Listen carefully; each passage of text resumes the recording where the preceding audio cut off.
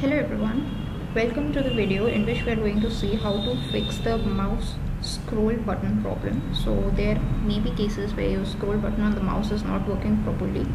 So in this video we are going to see that how can we solve that exact issue. So in order to solve it, the process is pretty simple. Just go to the search bar and type in control. There it should bring up the control panel app for you so once it's open make sure the icons that you're seeing are exactly like this. If you're not seeing like this if you're seeing it like this then what you need to do is go to view by and select small icons from here so that these icons are visible to you. From here we need to go to the mouse option. Then in the buttons make sure the double click speed is uh, in the middle. It is not too slow not too fast. It's in the middle exactly then go to the wheel and make sure the vertical scrolling and horizontal scrolling both are 3 uh, there should not be any value except 3 if it is 3 then it's okay.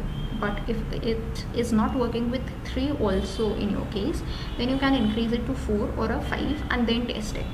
If it is working at a 4 or a 5 then it's well and good. You can keep that value. But if it is any other value than 3 then make sure you change it to 3 and then test it how do we test it? Just change the value click on apply click on ok and that should work for you. So that's it for this video. That's how you can fix the mouse scroll if it is not working properly and the speed also of your uh, pointer mouse pointer that's it for this video. Thanks for watching